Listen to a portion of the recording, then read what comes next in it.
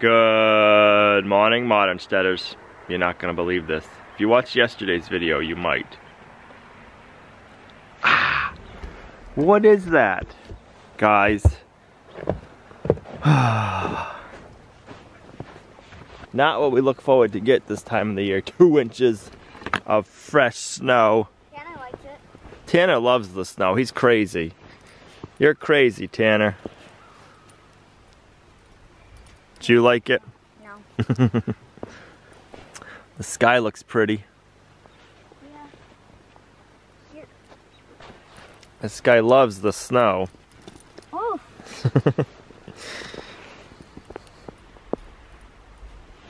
All that dog knows is snow. And he loves it when we get fresh snow. Alright, we keep having one bird that flies up every time we open the door. Let's see. What are you see? Look at that. Get in there. You're crazy. Ah, every morning you do that, honey.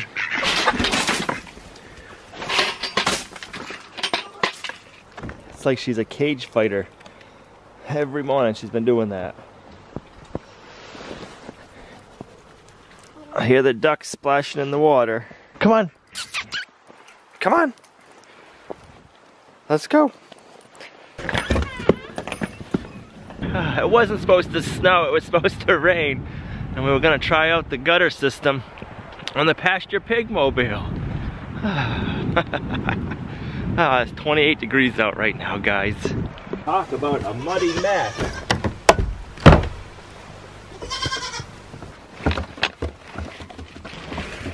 These girls gotta be nice to Hope.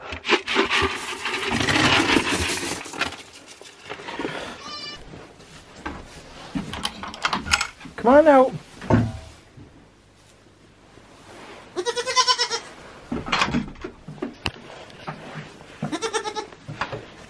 Come on, let's go get some hay.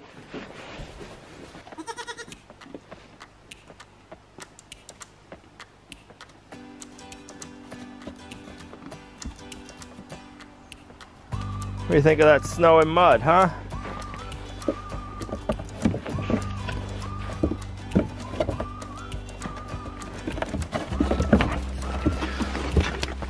Be nice.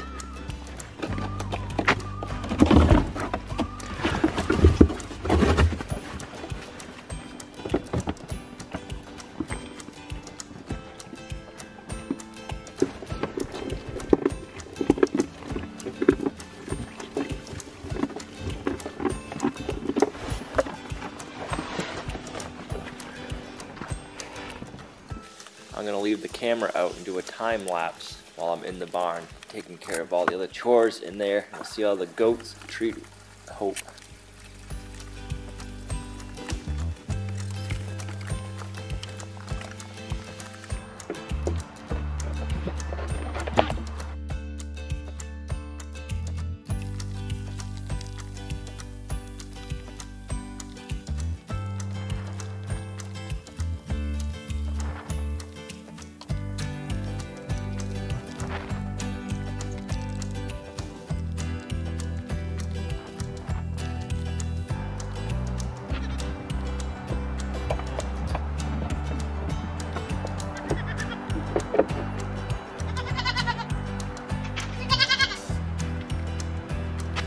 Want some chaff hay?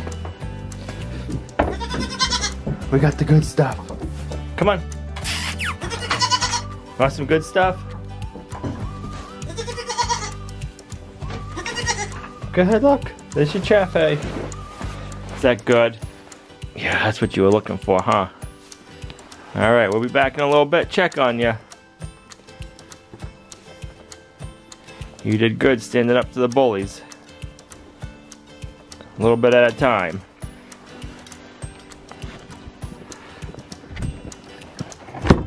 You staying in there, you coming out.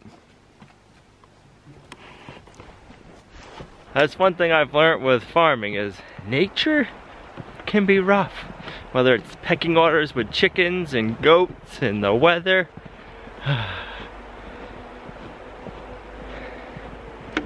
Sounds like the plow trucks are out this morning.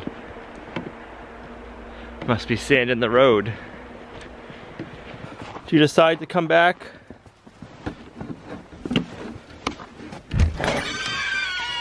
I wonder what the chickens of New York City are gonna think of the snow. If they'll come out or if they'll be like, yeah, no, we're staying in the coop this morning.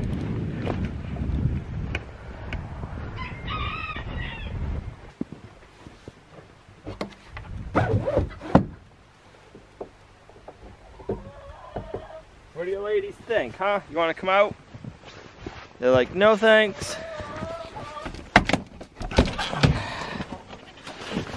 You want me to feed you inside today?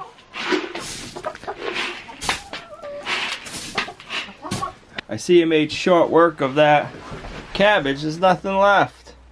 It's all gone. Two eggs.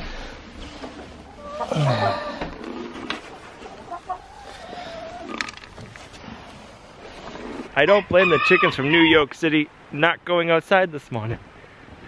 I think Pluto's lost this morning. You looking for Figaro? He didn't come out, did he? He stayed in the house. Huh? We've cleaned our chimney multiple times throughout this burning season. But when it starts getting late in the season again like this, I like to just check it, even though we just cleaned it about a month ago. When we're burning fires right now, they're not always super hot because we don't need a, a lot of heat all the time. So I just want to pull this out first. Let me go get my, yeah, hold on.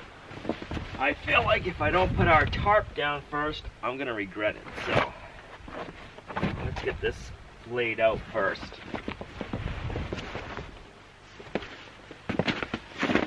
Now we can pull the plug.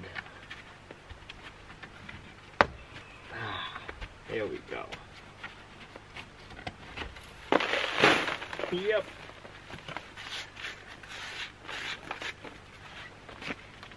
That's what the inside of a dirty Metalbestos chimney looks like. Most of our creosote settles right here on the very bottom.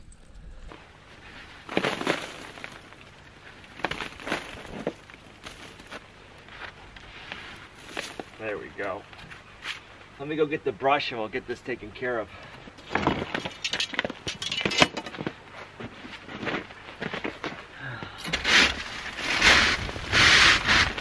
I'll be right back after I get done cleaning the chimney.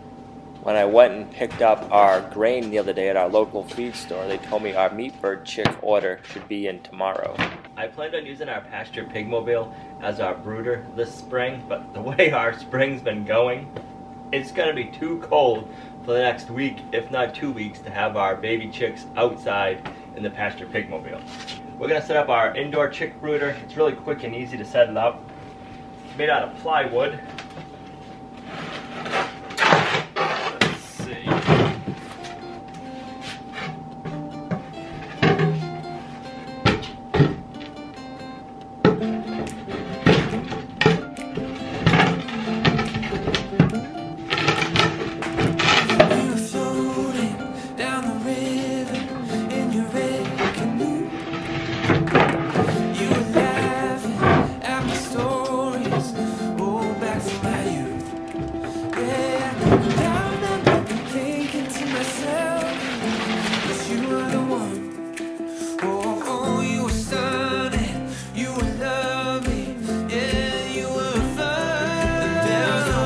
You don't have to line it with a tarp. We're doing that just so it's easier to clean up. We don't have to worry about our concrete floor in the basement getting stained. I'm gonna put some wood shavings down, but we'll get those when we pick the chicks up. on that stream with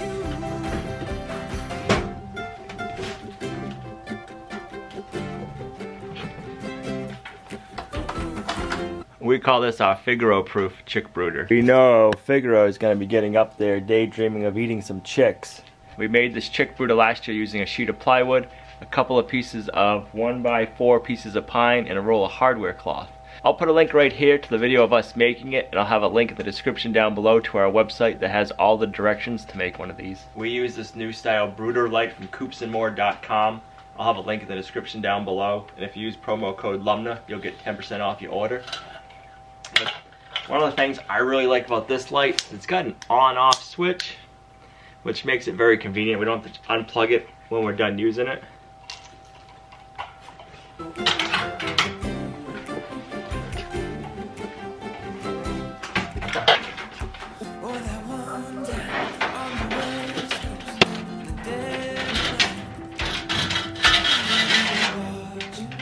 Now when we get the phone call saying the chicks are ready to pick up, the brood is all set up, we'll just have to grab a few more supplies and we'll set their water and their feeder up when we get them. We have duplex nails on each side and the back. This way it can't get slidden around and the top is held in place. I know, I wish we didn't have to run the wood stove either. Couldn't winter just be over with? Luckily, we got a whole bunch of pine scraps left over from when we built the house four years ago. Ah.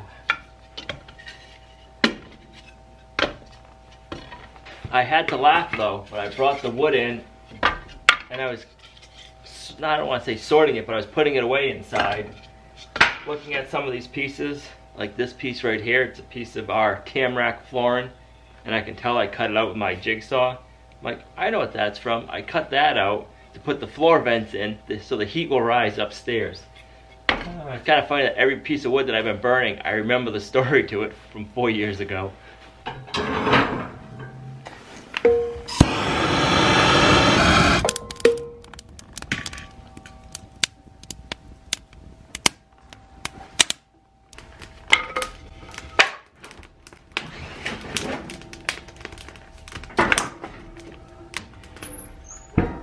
You're dressed like it's winter out again. Yeah. Did winter come back? Yeah. Oh man. You don't like it? No, I have a feeling it's gonna be another one of those years where we have no spring and it's just gonna go straight to summer. Straight to summer. Yeah.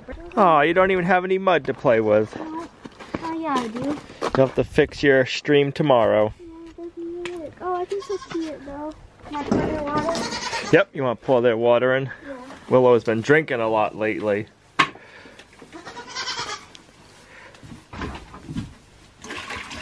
All of it. Yep, fill it right up.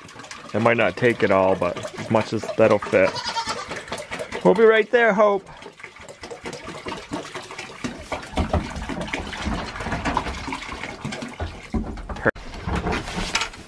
You wanna go out play for a little bit, Hope? Come on, let's go out. I know they're mean, but we gotta get you accustomed to them. You don't even want to come out? Come on, Hope. Hope's like, I don't even. Come on. You want to come out? You want to come out and play? You're coming? Come on. No? Alright. Is this what you want? You don't want to see the girls? You just want to have some time wanting to come in here, Libby's. Hope don't want to go out there. What are you doing? What are you doing, huh? Huh? How's your skin looking? You're looking good. You got a nice little chubby belly. Guess what, Hope? It's supposed to be warm this weekend. That means your sweatshirt can come off. Yes. It means your sweatshirt's gonna come off. We're gonna wash it. And we'll let you play. We'll let you play. Yes, you can play. You can play till your heart is content.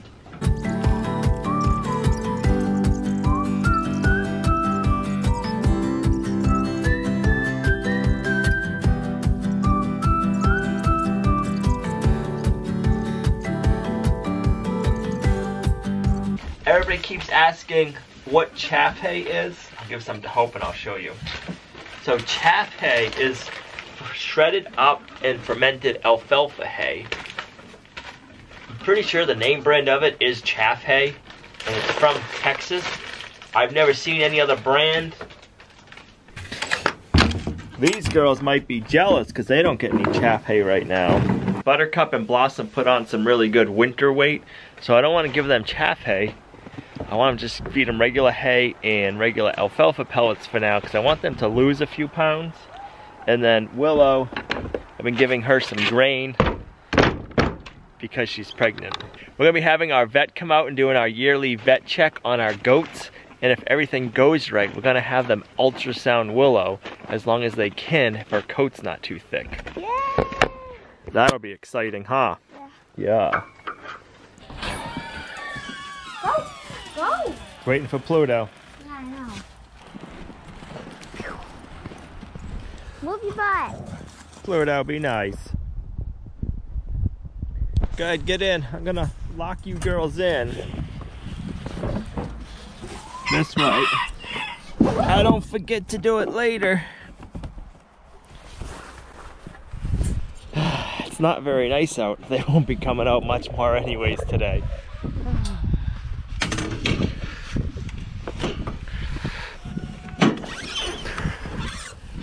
Thank you for your eggs. Look at all them beautiful eggs.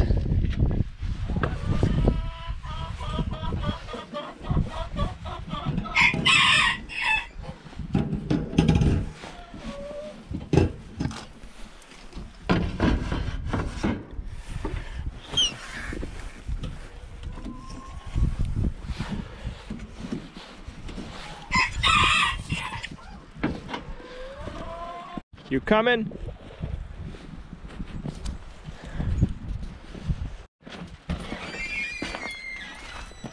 Keeps getting colder and colder out. Every time you see me, I got more clothes on. I just had to bring in an armful of firewood for tonight. You're always at the door, lady. You're always there waiting for us. Wonder if we got any more small eggs today. Nope, but she just laid one. Can you tell how wet it is? Yeah. Says, hey, give me some privacy. That's a fresh laid egg. You can actually watch the egg dry.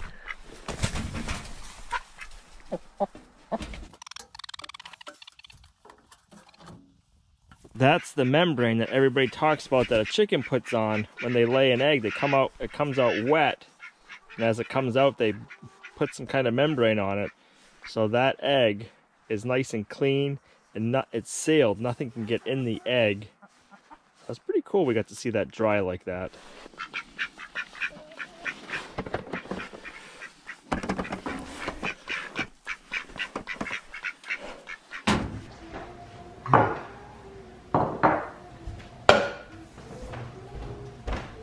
Got our brown sugar one of the nice things about cooking up big meals is you have leftovers and you can make up other dishes fairly quick, I, I'll say.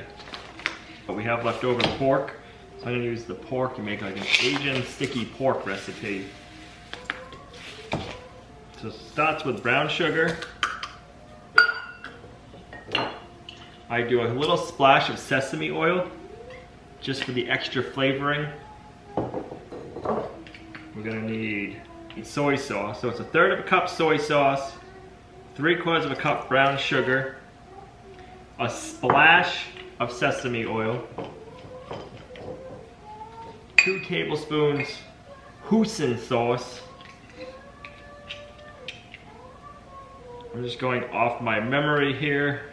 It's gonna be delicious.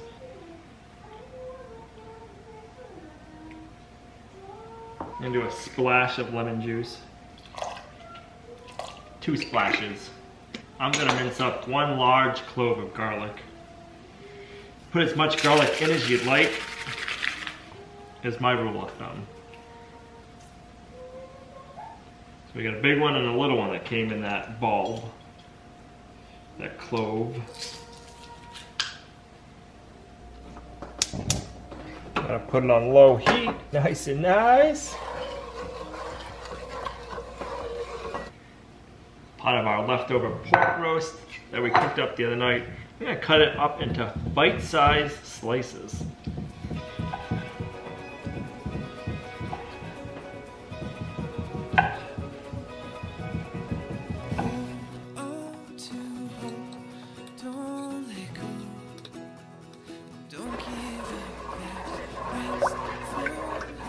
Now we can add the pork right in.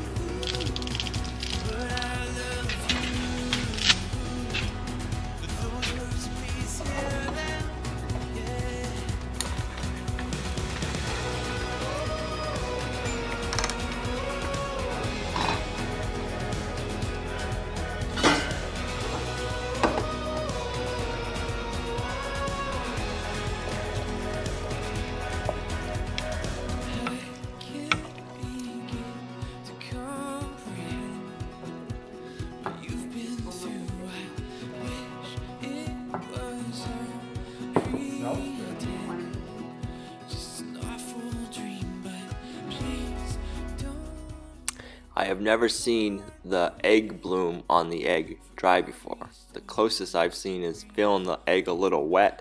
But that was thought that was pretty nice to be able to see it today for the first time wet and dry. I put it in fast forward for you guys, but it honestly only took I think 15 or 20 seconds standing there to see it dry. So that was pretty wild.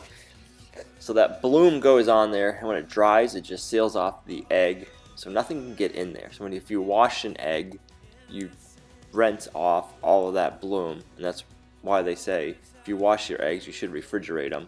In a lot of countries, I believe it's over in Europe. If we have any European viewers, leave it in the comments down below. But I don't think they can wash their eggs because of that reason. Their eggs aren't at the grocery store, aren't in the refrigerated aisle. They're left out on the shelves, so they can't wash the eggs for sale.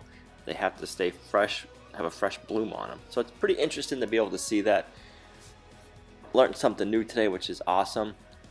Thanks for coming along on our journey with us, guys. Spring is going to be here anytime now, even though we got two fresh inches of snow. Uh, the meat birds should be here hopefully tomorrow, as long as everything goes as planned. So that's exciting. Our piglets will be coming soon. Willow's due May 12th. The vet should be coming in the next day or two, so hopefully we can get the ultrasound done. A great time of the year, so much fun stuff going on.